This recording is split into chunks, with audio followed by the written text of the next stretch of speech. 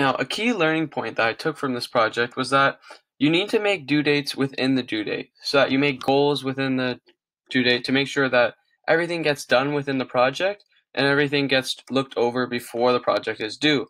Since when there are a lot of reports due, everything keeps piling up to the final due date. Now, also what I took out of this project was that you are always going to have arguments and disagreements.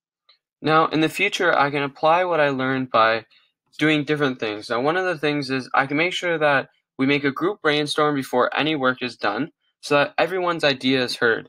Since in this group project, some of the students may not have. Now, also, what I can apply in the future is finding a better way to communicate with my peers. So, what I'll have to do is find an app that can work on all different devices. Now, thank you for listening to my reflection of Absolute Sports Arcade.